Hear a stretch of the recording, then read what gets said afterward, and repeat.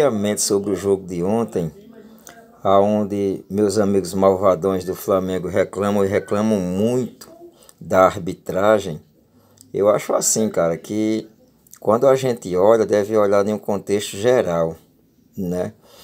E não merece estar com essa reclamação tão vermente demais, tão de uma maneira assim tão acintuosa, não, porque o cara errou para os dois lados. E olha, convenhamos, que ele errou ainda mais contra o time do Atlético. Vou botar em miúdos.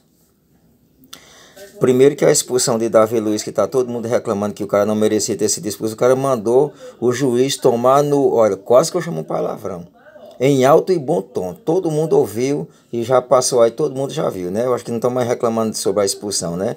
Mereceu sim, claríssimo de ter sido expulso. Reclamou da falta e mandou o juiz tomar, que realmente ali foi falta. E não foi pela falta, foi pelo que ele falou.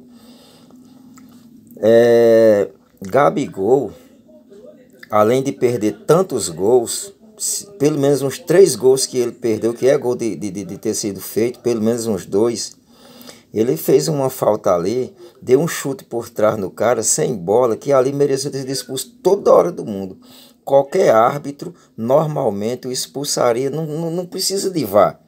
Vamos ser conscientes, eu sou amigo de vocês e se tem alguém que não tem clubismo e que fala a verdade, esse alguém aqui sou eu. Então Gabigol mereceu ter sido expulso toda hora do mundo.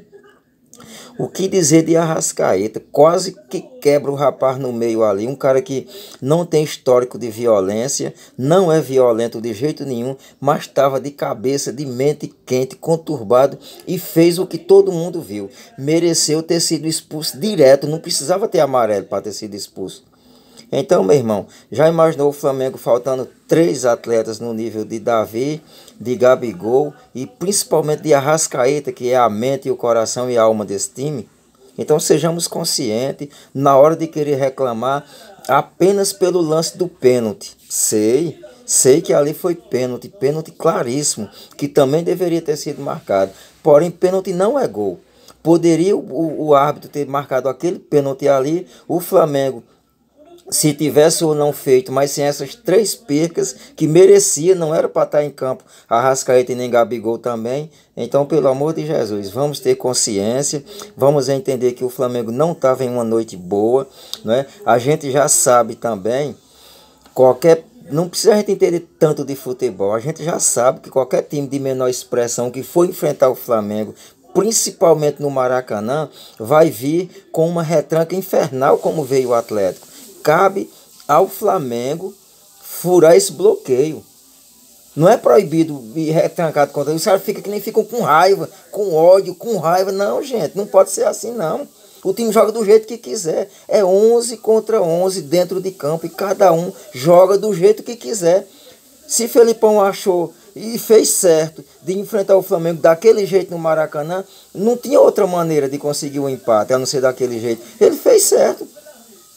Faltou a competência do time do Flamengo de ter furado esse bloqueio. Os seus atletas não foram capazes de furar aquela retranca, não é? Aonde perderam a cabeça e repito, merecia ter terminado o jogo com três jogadores a menos e um pênalti a seu favor.